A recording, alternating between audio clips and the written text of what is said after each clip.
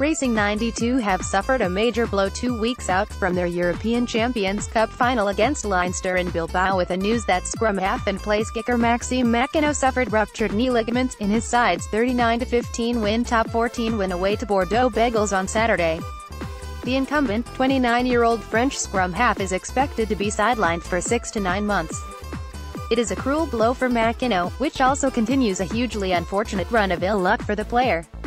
In the 2016 European Champions Cup final loss against Saracens, Machenaud was forced off early on with concussion, thus compounding the absence of Dan Carter from that final as it denied racing any kind of kicking game.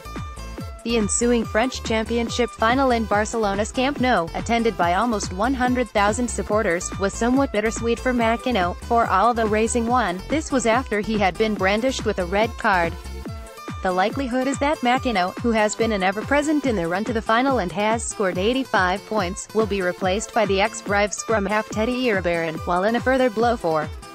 the Parisians, experienced hooker Dimitri Szarzewski has been sidelined for three to six months after undergoing an operation on the torn bicep he suffered in their semi-final win over Munster and Bordeaux a week previously.